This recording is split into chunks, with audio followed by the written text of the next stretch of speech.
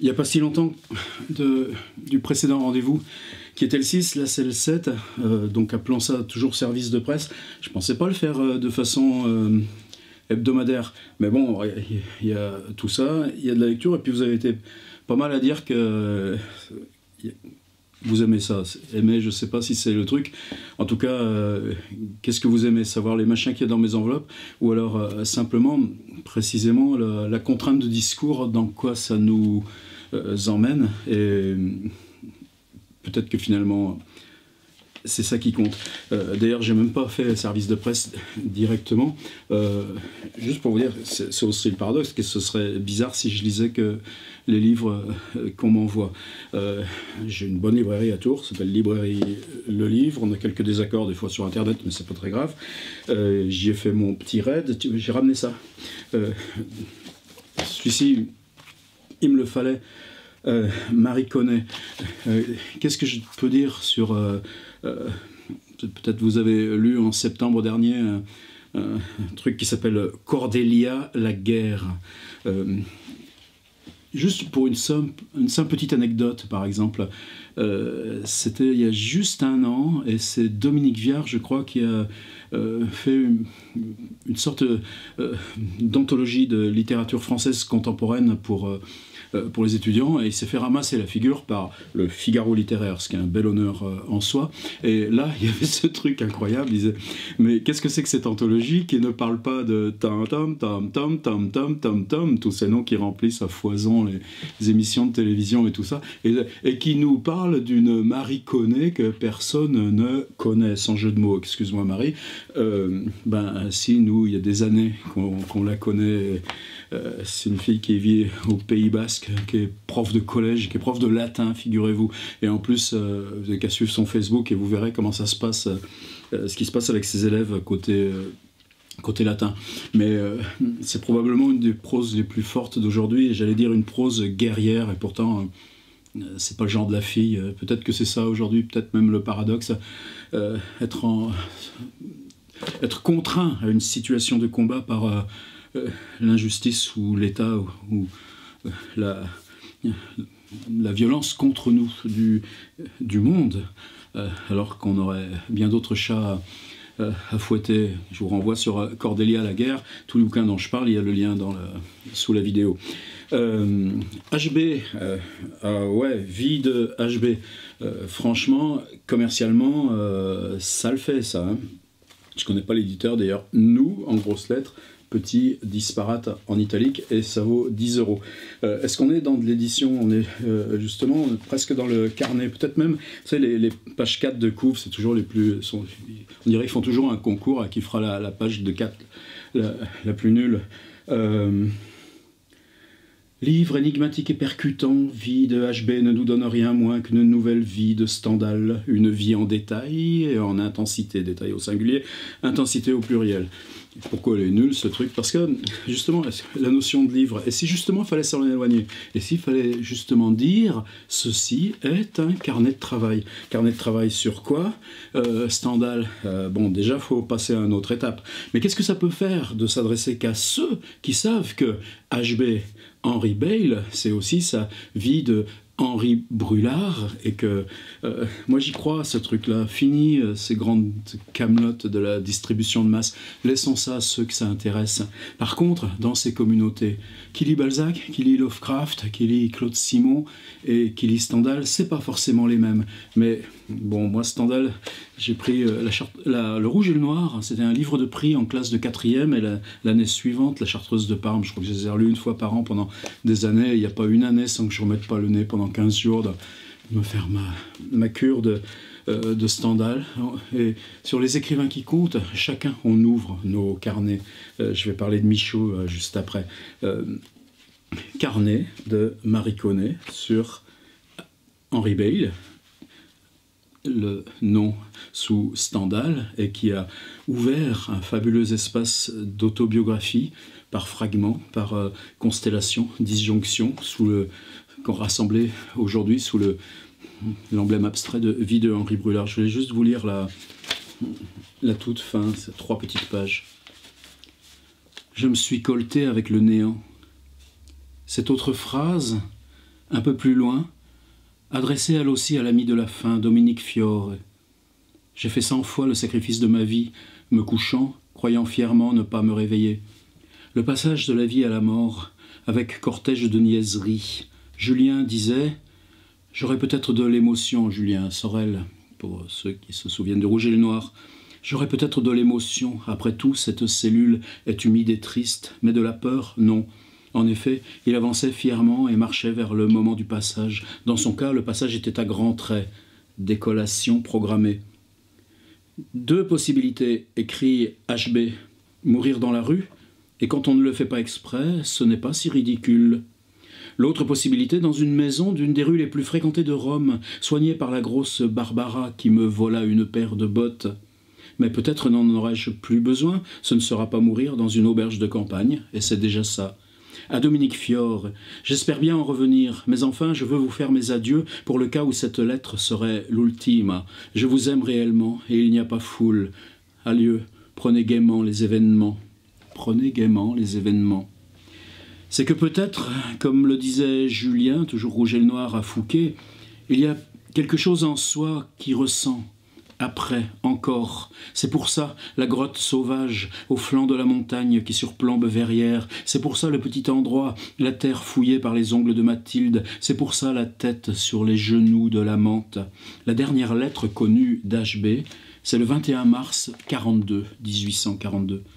HB tombe dans la rue le 22, une attaque, sans ridicule. Il meurt le 23, à 2 heures du matin. La dernière lettre d'HB, c'est le 21 mars 42, et c'est pour prévoir, non pas une grotte dans les hauteurs, non pas la tête sur des genoux accueillants, c'est pour mettre au point la parution de ces nouvelles, deux volumes de contes et romans. Vous me donner votre parole d'honneur de ne pas changer un mot au manuscrit. HB demande 5000 francs pour deux volumes, décide le tirage. Une nouvelle par mois paraîtra dans la revue des Deux Mondes. Elle sera signée Stendhal. On pourra réunir en volume inuit ces nouvelles et les tirer à 700 exemplaires. Après cette première édition en inuit libre à Félix Bonner, de faire une édition en in 18 format populaire tiré à 3000 exemplaires. Le tout sera signé Stendhal. Je me suis colté avec le néant. C'est le 5 avril 1841. Un an auparavant, il écrit la liste de ses douleurs à Dominique Fior, qu'il aime, et il n'y a pas foule. Et la liste des douleurs est longue. L'oubli des mots français. Je n'ai plus l'usage que des propriétés animales. Fatigue, affreuse migraine, gravelle, goutte, fatigue, apoplexie nerveuse non sanguine, idée dans les mots, fond de mal de tête permanent, estomac, fatigue, fatigue après trois pages, quand on en écrivait trois cents en neuf jours. Faiblesse dans la jambe, à la cuisse gauche. 21 mars 42 à Félix Bonner, associé à la revue des Deux Mondes. HB écrit en PS Si vous faites des annonces ou publiez des catalogues, je vous prierai d'y placer les titres des ouvrages de Monsieur Stendhal.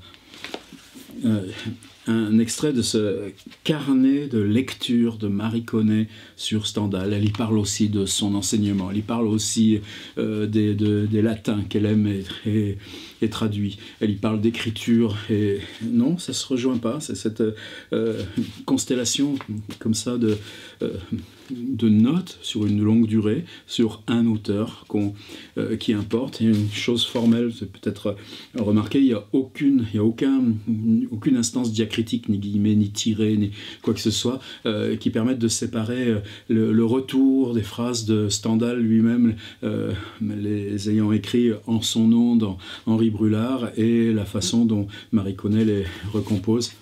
HB, pour tous ceux qui aiment Stendhal. Jean Rollin, j'ai acheté. Euh, comment j'achèterais pas tous les livres de Jean Rollin, un par un? C'est un de nos plus grands auteurs. Euh, on a tous en plus un, immense respect pour le, euh, pour le bonhomme. C'est une œuvre intègre, une œuvre qui va droit. Peleliu, je ne sais pas comment ça se prononce, une île de l'océan Pacifique. On, enquête dans l'histoire comme Hormuz enquêtait dans euh, cette fraction comme ça de, le détroit d'Hormuz avec euh, l'Iran, Somalie et, tout ça. Euh, ça commence par une carte, la carte d'une île. Comment on ne suivrait pas Jean Rollin dans une île qu'il arpente comme il nous a fait arpenter euh, Beyrouth ou fait arpenter euh, les, suivre les chiens errants de Mexico ou euh, ou le tour de Paris. Zone, c'est-à-dire faire le tour de Paris euh, sans franchir jamais le périph, même quand on est à deux stations de métro de sa propre piole et qu'on accomplit ce tour en entier. Euh, par contre, euh, bon, j'ai lu que le, début, évidemment, pas question pour moi de ne pas suivre Jean, et on le retrouve évidemment, c'est du Jean Rollin. Jean Rollin a cette capacité d'être complet, d'être lui-même en chacune des choses qu'il entreprend. Par contre, euh, si vous abordez Rollin, Jean, euh, c'est pas forcément celui-là évidemment, tout est là, euh, mais euh, son précédent livre, euh, c'était Savannah. là aussi, j'en parle. Il y a le, lien dessous. avec sa, compagne photographe, Kate la Bon, peu importe le côté people, après la disparition de sa compagne, de sa compagne, faire un pèlerinage d'un voyage aux USA sur comment elle s'appelait, Flannery O'Connor, aller sur visiter le musée en pleine cambrousse près de cette ville qui s'appelle Savannah, le musée dédié à Flannery O'Connor, et refaire sur huit jours exactement la même chose qu'il avait fait avec Kate, sa compagne, les mêmes hôtels, les mêmes rues, euh, les mêmes clodos qui peut-être est dans le même passage à cet endroit, la même gardienne du, euh, musée. Savannah était une construction tellement euh, étonnante, tellement euh, euh, émotive, malgré ce, protocole extrêmement strict, que on n'a pas encore fait le tour. Enfin, moi, j'ai pas encore fait le tour intérieurement de, ce bouquin. Donc, euh, de Jean Rollin, mais commencez par Savannah, si, par hasard vous n'avez pas lu Savannah. Sinon, mon préféré de Rollin, ce serait peut-être Terminal Frigo. Peut-être aussi là une magnifique entrée dans son truc de Terminal Frigo, partir de Dunkerque, aller jusqu'à Menton, et puis euh, de port en port, prendre euh, voilà, ces pioles de rien qu'il y a comme ça euh, face aux entrepôts, face aux bateaux, Saint-Nazaire, tout, du long, et, les décrire. Terminal Frigo, Jean Rollin, et garder Pélélio pour ensuite, pas grave.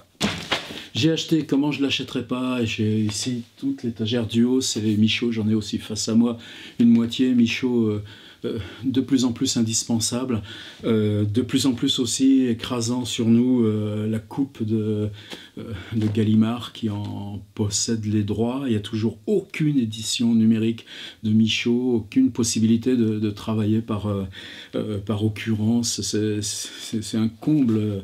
Il n'y a pas plus central pour nous dans le, travail d'enseignement, de transmission.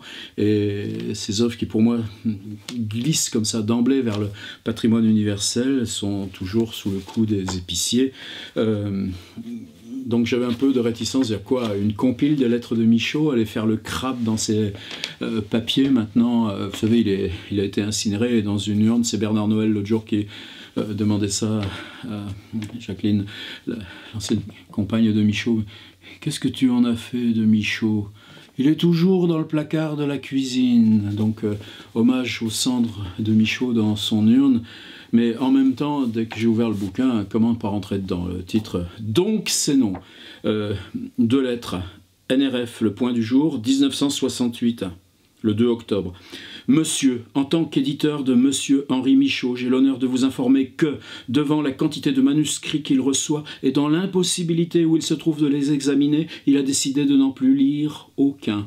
Et par conséquent, votre manuscrit vous est retourné de sa part. Par pli séparé, veuillez croire Monsieur à mes regrets et à mes sentiments distingués. Il faut le faire, avoir une circulaire comme ça. Recommandé, Paris, 11 janvier 1969, c'est le moment où sort euh, le Let It Bleed des Rolling Stones. Monsieur le chef de cabinet, je vous remercie d'avoir pris la peine de m'écrire au sujet de l'initiative d'un comité qui songe à apposer une plaque commémorative sur l'immeuble où je suis né. Je voudrais qu'on n'en fasse rien.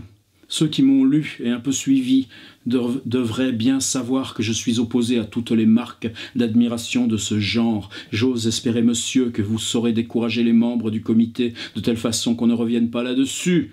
Veuillez agréer, monsieur le chef de cabinet, l'assurance de ma grande considération. Et note de bas de page, adressée à Jean Hanon, chef du cabinet honoraire du gouverneur de la province de Namur, ville natale de Michaud. Deux, trois ans après sa mort, une plaque fut posée sur la façade d'une banque. Ici est né le poète Henri Michaud, 1899-1984. Donc c'est non. Et, bon, je ne sais pas si ça change grand-chose à notre, ce qu'on sait de l'œuvre de Michaud et tout ce qu'il y a d'essentiel. Il, travaillait, il faudrait que je me fasse une spéciale un de ces jours. Mais euh, bah, ça fait plaisir. Allez, les autres. Le premier, ça va être un tout petit peu de la triche. Euh, tout simplement parce que vous voyez là, hop là, il y a l'écriture unique. Jean-Paul Gou. Euh, et j'aurais même reconnu s'il n'y avait pas le truc, rien qu'à sa, euh, sa graphie. Euh, donc ouais, je dis de la triche parce que, sachant que j'allais ouvrir un livre mince de Jean-Paul, j'étais attrapé à côté quelques euh, épaisseurs de Jean-Paul, mais j'en ai largement le double. Ça fait 30 ans qu'on se connaît. La première fois que j'ai rencontré Jean-Paul Gou, c'était avant, c'est le moment où Minuit m'avait refusé le première version du manuscrit sorti d'usine, une revue qui comptait énormément pour moi, c'était Digraph. Non, je venais de publier, parce que Digraph me snobait, comme évidemment on snob n'importe quel jeune auteur dans le grand monde parisien. Et euh, par contre, une fois publié à minuit, euh, ben, euh, là, le contact avec Digraph s'était établi. Jean-Paul était quelqu'un qui publiait. Avec lui et Philippe de la Genardière, je crois que c'est et Mathieu Bénézé, plus Dominique Grandmont. C'était ce vraiment que je. Dont, pour moi, l'écriture me semblait tellement centrale dans les franchissements, les sauts de cette époque-là, dans cette, autour de cette revue digraphe que dirigeait Jean Rista. Et Jean-Paul est le premier auteur, comme ça, prosateur que, que j'ai connu. Et je me souviens très bien qu'il avait pris mon, bouquin, sorti d'usine, donc euh, tout neuf. Et, euh, il avait pris deux pages et il m'avait simplement dit voilà pourquoi j'étais gêné quand le manuscrit nous était passé entre les mains. C'est une leçon euh, formidable et depuis l'amitié n'a jamais cessé, quoi qu'on soit si différent. Euh, je suppose que chez, chez, Actes Sud, ouais, il y a tout de suite ce format, l'élégance de euh, la couve. Euh, c'est tout encore ça, petite écriture. Les, pages de Jean-Paul, ces pages manuscrites, c'est quelque chose des plus formidables que j'ai vu. Il écrit sur des grandes pages, je ne pense pas que ce soit du A4, c'est un, vrai papier, il faut que le papier soit d'où à la main, pas ces saloperies de papier euh, photocopieuse avec 6% de chaux vive. Et euh, il écrit sans marge, euh, d'un bord à l'autre, jusqu'à ce que la page soit linéairement, comme ça, sans recopier, jusqu'à. Enfin, sans. Non, j'ai quasiment sans rature, sans bord ni en haut, ni sur les, côtés, et en avançant très lentement, posément, comme ça, dans cette espèce d'énergie continue. L'ombre s'allonge. le premier que j'ai lu de Jean-Paul, je crois que je l'avais tout à l'heure, je sais plus où je l'ai mis, ça s'appelle Le Montreur d'ombre. C'était son premier livre chez Hippomée. 77. Euh, ensuite, il y a eu un livre justement chez Digraph, euh, celui pour moi qui, pourrait être une sorte de classique aussi, si, mais il est même plus disponible. Le Triomphe du temps. Et puis euh, euh, il y a eu euh, ensuite une expérience où il a failli euh, rejeter complètement sur les bords. Ça s'appelait Lamentation des ténèbres. Là, vous voyez, c'était énorme. c'était chez Flammarion, 350 énormes pages comme ça. une seule coulée lyrique, mais les coulées lyriques de Jean-Paul, elles appréhendent tout. les bagnoles, les villes, les horizons, les paysages, les êtres, les tensions, les déchirements intérieurs. Et, ouais, ouais, ça se faisait pas dans le petit monde. Ça se faisait plus dans le petit monde, la littérature de corps. Euh, et puis il y a eu cette euh, rédemption chez Actes Sud euh, avec une série qui s'appelle Les Jardins de Morgante, La Maison Forte, commémoration. Que vous le preniez par n'importe lequel, que vous entriez dans ce flux lyrique par n'importe quel endroit, vous trouverez Jean-Paul Gou là aussi en entier. Et pour moi, c'est une grande, grande, grande, grande voix indispensable. Euh, pour ce qui concerne la prose et le lyrisme, euh, c'était chez Champvallon, je ne sais plus quand, La Fabrique du Continu, essai sur la prose. Euh, bah, si Maulepoix est allé un petit peu dans ces, endroits-là, mais ceux qui, en plus, avaient commencé quand Jean-Paul avait fait aussi un petit essai sur, sur Julien Gras, il y a très longtemps, nous apprennent euh, euh, ce qui se joue de littérature dans cet outil qui est tellement simple, écrire une phrase en prose. À découvrir Jean-Paul Gou, L'ombre s'allonge, c'est chez Actes Sud. Euh, Et je suis très curieux de découvrir Jean-Paul revenant à un format comme ça de, de 120 pages, revenant à l'art du bref. Euh, bon, bah, cette fois on y est dans le service de presse. Le peuple. Qu'est-ce que j'ai reçu? Le papier que j'ai décidé de jamais lire. Ah, ça c'est un disque pas banal. Brady Temple, Millions of Sun Left. Qu'est-ce que c'est J'en sais rien. Deuxième papier qu'on ne lira pas. En espérant que cela vous plaise, Charles Particule System. Merci. Je vais découvrir Grand Rock.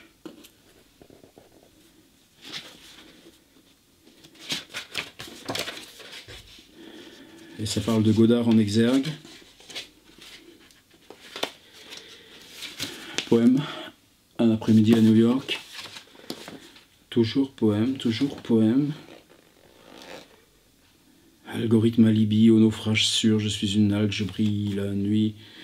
Oh je suis perdu dans un monde parallèle d'avatars et de crabes violonistes en plein game over de Karoshi. Je tergiverse et je procrastine dans mon no land, dans mes méandres, dans mes petits arrangements avec les vivants et les morts. J'ai la nuque pleine d'orages et de migraines aux allures de casargère et je commente un désert traversé de cerbères névralgiques qui courent après des vents de poussière sur une planète inconnue. Je règne sur les territoires du bug et de la déconfiture où il n'y a jamais de puis les jours s'agglutinent au milieu du terrain vague. Je suis un animal pris au piège et les rêves d'enfant se tournent en rond dans ma cage dorée. Mais ne vous inquiétez pas, ma cage est entièrement insonorisée pour éviter que je puisse déranger les voisins par mes hurlements de loup-garou, se sentir, etc., etc. Wow! The Cactus Blooming, Rodeo Post-Mortem. Euh, comment j'aurais connu ça? Dans quelle librairie? Dans quelle euh, Je ne sais même pas si c'est dispo sur Amazon. On va voir ça après pour que vous puissiez vous le euh, procurer. Qu'est-ce que c'est ce CD qui est joint avec? Qui m'envoie ça? Bon, quelque part, ça vient de Reims. Il y a un email, je vous le mettrai aussi. Peut-être que c'est la justification de ce qu'on fait ici, précisément avec ces services de presse. Et je répète encore, vous inquiétez pas, les gars, ils s'abîment pas les livres, c'est solide les livres. Euh, mais euh, si on s'y met pas tous à ce genre d'échange, comment on s'effra les passerelles entre ceux qui comptent Éric Dubois, Eric Édition Unicité, dédicace encore. Euh, évidemment, forcément, chez Eric Dubois, travaille beaucoup sur le blanc. Euh, bon, très clairement, que ce soit sur mon site Tiers Livre, je sais ce que c'est que la poésie, j'en lis, euh, mais je la pratique pas. C'est pas mon domaine. J'ai pas les, sais pas les rouages. Donc, il y a plein de sites de poésie, que ce soit Citodis, Remunette, évidemment, la référence principale le Poésie Bao de Florence Trocmé. Euh, moi, je peux pas aller là. Euh, mais bon, Eric est une particularité. Le mois dernier, ce mec-là, il s'est présenté à l'Académie française. Imaginez qu'il ait une possibilité d'être élu. Non, la bourgeoisie parisienne, ça regarde pas les mecs de Malakoff ou de je sais pas où. Euh, évidemment, c'est bien mais c'est un remueur. Euh, suivez son Facebook, des fois, par exemple, c'est 15 jours, ou dire, euh, c'est la contrainte d'aller dire des poèmes à ses voisins. Euh, une autre fois, c'est bon, une revue qui s'appelle Le Capital des mots, qui l'anime, je crois, c'est son travail, enfin, son, c'est sur lui principalement que repose le capital des mots et où là aussi il y a cette chose où je me reconnais et où quelque part on est frères, c'est-à-dire pas question d'avancer sa propre écriture sans que ça circule et respire avec celle des autres. Et dans ce, de ce point de vue, je considère bien évident euh, que Eric souhaite partager ce livre avec moi.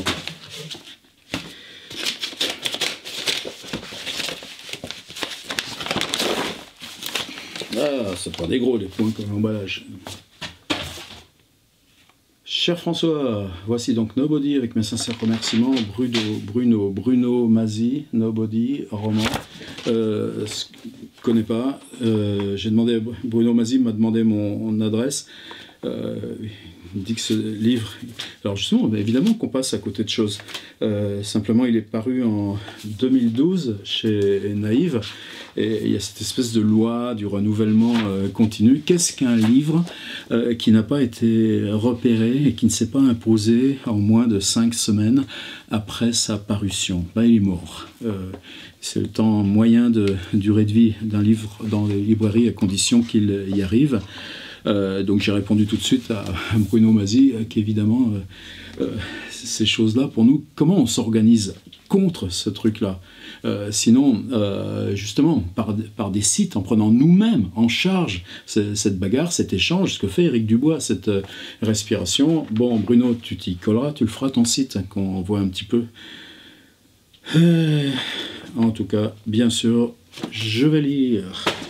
Ah, c'est marrant parce que du coup, j'avais le, courrier du jour qui est resté là. Qu'est-ce que c'est? Voyons ça. Château de Chambord. Château de Chambord, j'y étais une fois avec euh, Pifarelli, mais ils ont reçu aussi euh, Bonnefoy, Alberto Manguel, tout ça, beaucoup de littérature euh, contemporaine. J'ai participé à l'exposition qu'ils avaient fait sur Philippe Cognier. Très gentil de m'envoyer leur papier glacé, mais évidemment, pourquoi s'embêter avec du papier glacé quand on a ça sur Internet? Un jour, les mecs, mais pourquoi avec la facture de ça, vous nous faites pas revenir pour une autre lecture? Enfin merde, quoi. Il y a qu'un moment, il faudrait savoir, quoi. Euh, centre culturel suisse. c'est pareil, je suis allé une fois, ça avait été une super soirée. On avait parlé de Godard, euh, du film One Plus One, Godard, Rolling Stones. Euh, imaginez que je vais garder votre catalogue, les copains du centre culturel suisse, rue des Francs-Bourgeois ou par là dans le Marais. Si j'ai envie de ça, évidemment, je, clique sur votre site. bon, c'est pas grave. Qu'est-ce que j'avais d'autre? Ah ouais, celui-là, je l'avais ouvert dès la boîte mais c'est aussi parce que c'est. Bon, ouais, tant pis. Euh, j'avais vu marquer Albin Michel. Et Albin Michel, c'est toujours un petit peu bizarre pour me recevoir. Vous savez qu'en septembre, euh, comme ils ne pas payé depuis 4 ans, euh, j'avais été faire une vidéo devant chez eux. Bah, ils m'ont réglé, du coup. Et c'était une somme plus conséquente que ce que je croyais. Après, il fallait encore me bagarrer deux mois pour avoir les papiers qu'elle allaient avec, à quoi correspondait cette somme. Et eh ben, ça y est, je dois être revenu dans leur truc parce que je suis restandardisé. alors, évidemment, ils me payent les droits 2015. Euh, c'est ça, évidemment, ouais. Et ça représente 111,54 euros. C'est-à-dire, je suppose, moins que euh, la note de restaurant journalière de M. Esménard qui m'a emmené une fois comme ça au resto avec lui, euh, boulevard du Montparnasse. Mais bah ouais, mais nous, dans les conditions qu'on vit aujourd'hui, euh, c'est même pas une question d'être père de famille ou pas? Euh, bah 111,54 euros, c'est pas cette question même des euros. C'est, euh, je suis resté 4 ans chez Albin. Après, ils m'ont pu parler, puis envoyer de mails pendant des années et des années. Il y a trois livres. Qu'est-ce que j'ai mis de moi dans ces trois livres? Euh, le Dylan, le Led Zepp qui, qui, sont jamais passés en poche, etc. Évidemment que c'est seulement 111 euros, ils foutent rien. Mais par contre, euh, alors allez-y les auteurs, c'est ça aussi. Vous voyez, il y a deux choses là, par exemple. Euh, qu'est-ce qui, comment ce qui se passe aujourd'hui? Alors que tout, par exemple en numérique, on bascule, ou même les Amazon, etc. Quand ils vous, renvoient vos, on a, tout peut se faire sur trois mois. Non, les éditeurs vous payent toujours là. Par exemple là, minuit, ce sera en octobre, et mais eux c'est irréglo comme une horloge. Fayard, c'est comme une horloge mais c'est au 1er juin, mais c'est une fois par an sur les trucs de l'année précédente. Un jour, l'édition, il faudrait combien de temps sur vos ordi pour que les auteurs touchent tous les trois mois ce qui est vendu Puis peut-être que du coup, on aurait plus ça circulerait un petit peu mieux aussi, ça vous exciterait plus. On est dans un vieux monde, mais ils se rendent pas compte que le monde a changé. Et euh, euh, l'autre truc, c'est euh, quand est-ce qu'on obtiendra que nos droits, c'est pour 10 ans, c'est-à-dire 2006, mon Led Zepp, chez euh, ou Dylan, et 2004, mon Led Zepp chez Albin Michel. J'aurais signé un contrat de 10 ans, ben aujourd'hui, euh, il sera à moi le bouquin. Allez, euh, restons pas dessus. Ah, ça, ça doit être mieux. Ça, j'ai ouvert. Radio France, parlons-en. Adaptation inédite, œuvre du domaine public, achat. L'adaptation est inédite, bien sûr, c'est moi qui vais la faire. Durée approximative pour la production 60 minutes, mais il y en a deux. L'une, ce sera The Thing on the Doorsteps, la, la chose sur le seuil. Il y en a deux, la vidéo avait bloqué. Euh, il y en a une, ce sera The Thing on the Doorstep, la chose sur le seuil de Lovecraft, et l'autre, Chuchotement dans la nuit, euh, où c'est tout rempli de lettres, de télégrammes, d'articles de presse, de coups de téléphone, de, de voix qui émettent par euh, euh, synthétiseurs bizarres depuis des, des, bocaux de verre avec des systèmes électriques. Euh, très heureux de retravailler avec France Culture. J'ai écouté beaucoup ça ces, dernières nuits. On trouve beaucoup de choses dans le domaine anglais. Donc, euh, comment adapter des œuvres qui sont basées comme ça sur simplement l'instance de vérité On n'a pas le droit de dire ceci n'est pas réel. Tout le fantastique tient à ça. Avec une masse de contraintes comme ça, de techniques dans, la chose sur le seuil. Tout, une grande partie du truc se passe dans un voyage de nuit en, voiture, avec la traversée des villes dans les phares, et puis les, ce qui change comme ça d'un profil de visage euh, dans l'éclairage, bref, un truc comme ça. Euh, très heureux, merci France Culture. Donc là, on est en train de finaliser les, deux adaptations. Je vous en donnerai des nouvelles. Ça, qu'est-ce que c'est cette enveloppe Fayard Ça, ça doit être juste pour dire que la période des impôts approchant. Ah non, une pub. Ah, marrant. Euh, là encore, qu'est-ce que dans les genres de survivance Ces trucs que les éditeurs payent très cher à des boîtes qui s'appellent Largus pour recevoir comme ça les revues de presse. Et tout d'un coup, tiens, cette revue, c'est quoi? C'est Vogue, ouais. Euh, Vogue qui avait dû mentionner quelque chose. Euh, ouais, qui avait dû. Waouh Relire les patentes biographies signées François Bon, sorties en 2002 chez Fayard. Merci Vogue. Euh, Vogue depuis, vous savez, une fois ils m'ont commandé un texte sur Lou Reed et un texte sur Björk. Quel plaisir d'aller pouvoir comme ça s'exercer, sauter dans, des, dans les domaines qui nous sont inconnus. On arrive au dernier point. Euh, je l'ai gardé, mais justement là j'ai fait un peu exprès. Je me dis tiens, et si je le déballais en service de presse, donc comment se faire envoyer ses propres livres? Eh ben, allons-y.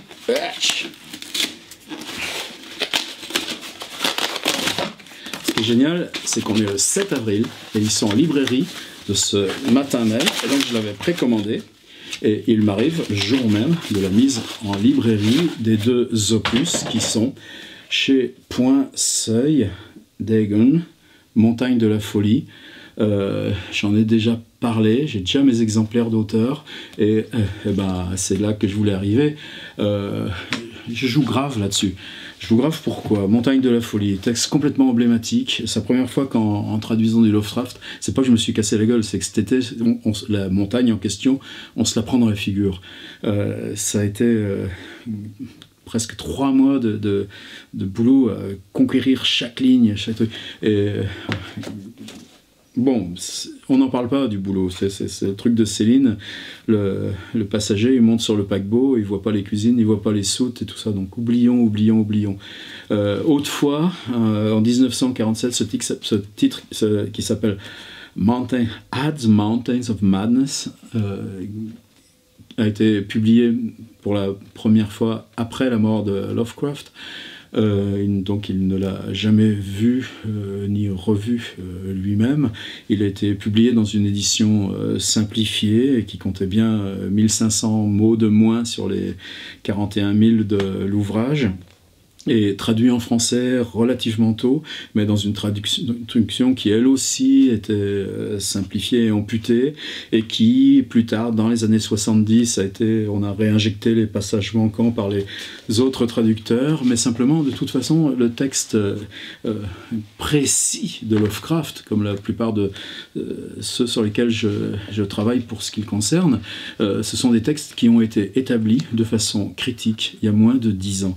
Donc c'est c'est un Lovecraft neuf. C'est pas un Lovecraft. Euh, c'est un Lovecraft sur lequel on a appris énormément de, choses. Par exemple, euh, le lien pour, pour travailler là-dessus, travailler sur euh, l'expédition Bard en Antarctique avec ses avions en 1929, les archives, les photos, tout ce qu'on peut exhumer et qui, vous permet d'entrer dans le, dans le travail comme ça concret de la, de la traduction. c'est la première fois, c'est pas mon question, je m'en fous que ce soit ma phrase. Hein. le, le, boulot du traducteur, c'est de se retirer, c'est de laisser tout euh, euh, transparent. Bon, euh, on traduit un texte parce qu'on y tient, qu'on le trouve grand, ben, c'est le cas. Et, je serais vraiment fier que ce truc-là marche. C'est pas non plus. Là, on doit en sortir deux autres au seuil, mais ça fait deux mois qu'ils me disent oh, on t'enverra un contrat. Je ne pas, mais bon, il faudrait peut-être que ça se remue un peu. Et donc, si ça se plante, ça sera grave pour se planter aussi. At Mountains of Madness, eh bien, moi j'ai appelé ça Montagne de la folie. Merci à celles et ceux qui me suivront. L'autre, pour moi, c'était aussi important. Euh, euh, Lovecraft, précisément parce que ce, fou de littérature n'a jamais eu accès à la publication euh, livre, a publié comme sous masque, c'est-à-dire en se glissant, comme tout à l'heure je disais moi dans, Vogue pour Lou Reed ou Björk, entrer dans cette presse, les Wild Tales, ces magazines d'épouvante, d'horreur, et donc écrire pour... Et en même temps, euh, ce qu'il écrit là, c'est des textes qui sont son laboratoire le plus personnel, là où ça part de, de rêves, d'impressions euh, fugitives, de choses qui... Et donc on a comme ça ce qui fait pour moi le cœur de l'œuvre de Lovecraft. Euh, c'est une suite de récits d'une vingtaine de pages où la question du livre, où la question de l'écriture sont présentes.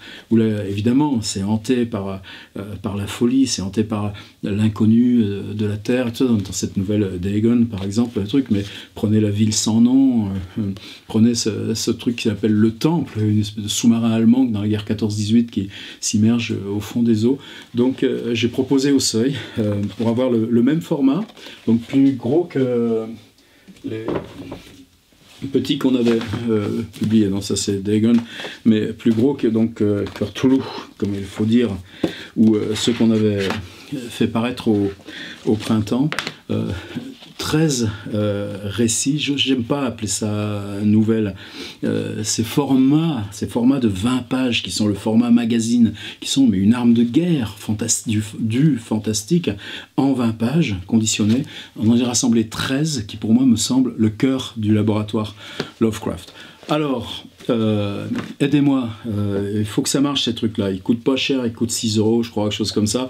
Ils vont être évidemment dans toute la, cavalerie de euh, distribution, mais en même temps, vous savez que la distribution, bah, même mes potes libraires, par exemple, à Tours, là où où j'ai acheté le, Michaud et tout ça, euh, les points Lovecraft, ils savaient même pas au courant. Ils étaient bon, c'est pas grave, je leur en veux pas. Mais là encore, à nous de faire le turbin. Euh, et si vous voulez bien m'aider, eh ben, ce sera avec ces moyens du web et c'est pour ça que je les donne. Je les ai achetés pour les donner. Donc mettez-moi en commentaire Dagon, D-A-G-O-N, mettez-moi en commentaire Montagne, écrivez-le comme vous voulez. Et on tire au sort, on est jeudi midi, lundi midi c'est tiré au sort, et bah, si ça aide à lancer officiellement, parce que ces deux livres aujourd'hui sont en librairie. Merci d'être resté avec moi jusque-là, et au numéro 8, tout bientôt.